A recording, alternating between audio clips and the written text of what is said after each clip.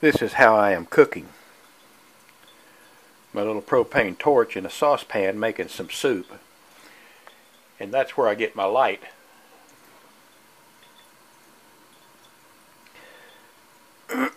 this power out thing is complete bullshit. they say the grid is messed up or there's not enough electricity.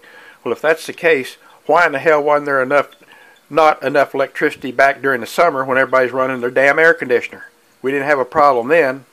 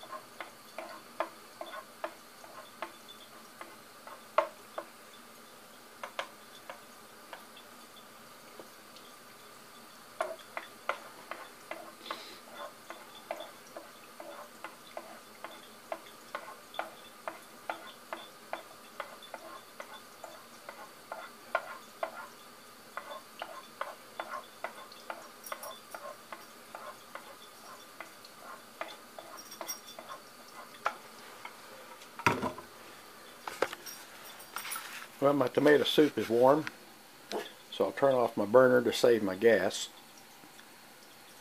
I'm going to fire up the grill and have me a hamburger later tonight.